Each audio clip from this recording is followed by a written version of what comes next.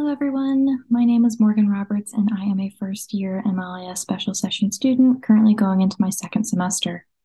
I would like to express my deepest gratitude to Dr. Main, Dr. Harlan, Dr. Bowen, the Student Awards and Scholarships Committee, and Ms. Luna for selecting me as a recipient for the 2023 Special Session Scholarship for Current Students. I chose San Jose State's MLIS program because of the variety of pathways and content areas addressed by the program.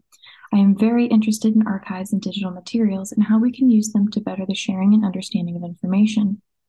My scholarship application was about a multimodal and graphic narratives initiative that I began at one of my local community college as an access and instruction librarian.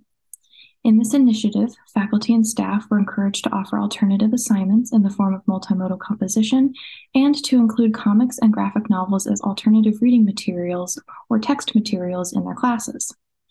The initiative has been a huge success so far, with English, Spanish, and nursing faculty all making changes to their curriculums. Ultimately, I hope changes like these become standard to make learning more accessible and interesting for students, and that we all continue to create and support lifelong learners from all walks of life. With all of the opportunities that the iSchool offers each semester, I hope to continue exploring the world of archives and digital materials, along with any other subject that catches my interest.